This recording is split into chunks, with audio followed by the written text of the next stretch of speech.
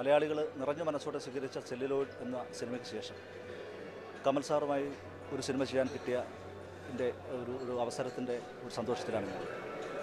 Celluloid കഴിഞ്ഞിട്ട് ഒരു അടുത്ത സിനിമ എത്തരത്തിലുള്ള ഒരു സിനിമയാവണം എന്ന് എന്ന ഒരു വലിയ ചിന്തയിൽ ആശങ്കയിൽ നിൽക്കുന്ന സമയത്താണ് കമൽ സാറിനെ ഞാൻ കാണുകയും കേരളത്തിലെ നാടക കലാകാരന്മാരുടെ ജീവിതം ഒരു പ്രമേയമാക്കുന്നതിനെക്കുറിച്ച് സംസാരിക്കുകയും ചെയ്തു അത് കേട്ടപ്പോൾ തന്നെ അദ്ദേഹത്തിന് അത് അത് അതിനകത്തൊരു വലിയ സാധ്യത ഒരു സിനിമ ഉണ്ട് എന്ന് അദ്ദേഹത്തിന് ബോധ്യപ്പെട്ടു. കേര നമ്മുടെ നാടകത്തിന്റെ ചരിത്രം എന്ന് പറയുമ്പോൾ ഒരു പക്ഷെങ്കിൽ കേരളത്തിന്റെ സമൂഹത്തെ അതിന്റെ ചിന്തയെ വളരെ ആഴത്തിൽ സ്വാധീനിച്ച ഒരുപക്ഷെ നാടകം മലയാളത്തിന്റെ ഒരു ഒരു ഒരു പൊതുചിന്തയെ മാറ്റിമറിച്ചതുപോലെ സിനിമയ്ക്ക് പോലും ഇവരെ കഴിഞ്ഞിട്ടില്ല.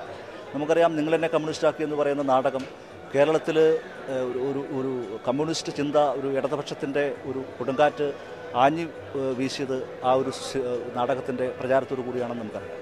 അപ്പോൾ അത്തരത്തിലൊരു സമൂഹത്തിന്റെ ചിന്തയെ തന്നെ മാറ്റിമറിക്കാൻ കഴിഞ്ഞ ഒരു നാടകത്തിന്റെ നാടക പ്രസ്ഥാനത്തിന്റെ ജനപ്രിയ നാടക പ്രസ്ഥാനത്തിന്റെ ഇന്നത്തെ അവസ്ഥ വളരെ ദയനീയമാണ്. അതായത് ഉത്സവപ്പറ ആളൊഴിഞ്ഞ ഉത്സവപ്പറമ്പുകളിൽ നാടകം കളിക്കേണ്ടി വരുന്ന നാടക കലാകാരന്മാരുടെ ജീവിതം.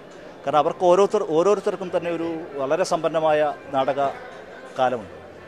അതായത് ഉത്സവപ്പറമ്പുകളിൽ നാടകവണ്ടിക്ക് വേണ്ടി ജനങ്ങൾ കാത്തിരിക്കുകയും നാടക നടന്മാരെ നമ്മുടെ സൂപ്പർ താരം സിനിമയിലെ സൂപ്പർ താരങ്ങളെ സ്വീകരിക്കുന്നത് പോലെ ജനങ്ങൾ സ്വീകരിക്കുകയും ചെയ്തിരുന്ന ഒരു കാലഘട്ടവും അതിന്റെ ഓർമ്മകളും അവരിലുണ്ട്.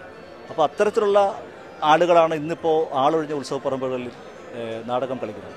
അപ്പോൾ അവരുടെ ഒരു ഒരു വല്ലാത്ത സംഘർഷവും വേദനയും ഈ ഈ സിനിമയിൽ വളരെ ശക്തമായിട്ട് നമ്മൾ പ്രതിപാദിക്കുന്നുണ്ട്.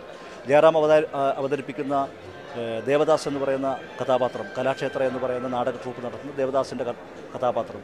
അയാളുടെ ജീവിതം അയാളുടെ ജീവിത സംഘർഷങ്ങൾ അയാളുടെ വ്യക്തി ജീവിതത്തിലും നാടക ജീവിതത്തിലും സംഭവിച്ച ആ, കയറ്റയിറക്കങ്ങൾ അതിലൂടെ സഞ്ചരിക്കുമ്പോൾ തന്നെ നമ്മൾ വളരെ സമ്പന്നമായ കേരളത്തിന്റെ നാടക ജനപ്രിയ നാടക ചരിത്രം കൂടി പറഞ്ഞു പോവുകയാണ്.